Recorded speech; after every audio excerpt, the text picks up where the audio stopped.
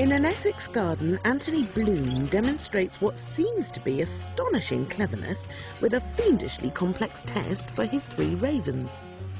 They belong to a group of birds called corvids, which comparatively have the largest brains of any birds. In one of Aesop's fables, a thirsty crow drops stones into a pitcher to raise the water level high enough for it to drink. Anthony's water-filled test is very similar, except it involves a float containing the bird's favourite food, mint steak. But to get at this reward, the ravens will have to drop these stones into the left-hand tube. Every stone they drop will raise the food a little higher, and what's more, the stones are hidden around the garden. They're going to need six in total.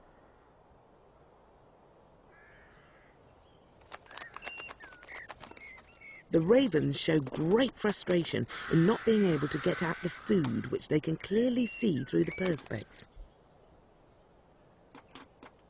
But they're using this frustration to push themselves on to the next stage. Before long, the ravens are searching the garden for the stones, dropping them in one by one.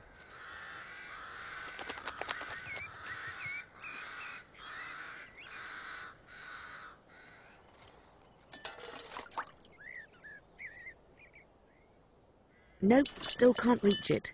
One stone is definitely not enough. It's going to take a bit more effort than that.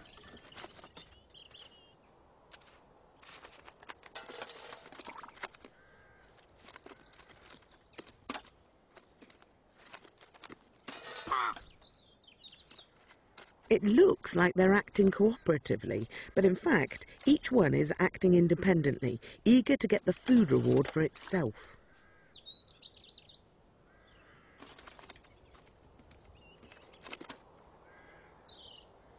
It's almost a race between them to see who can finish the test first. Just one more, and they've got it.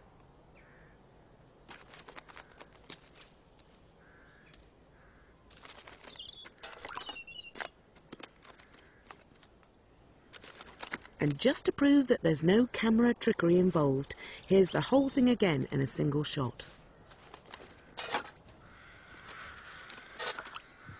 Given their large brains, we would expect ravens to be intelligent, but Anthony has trained them to do all this.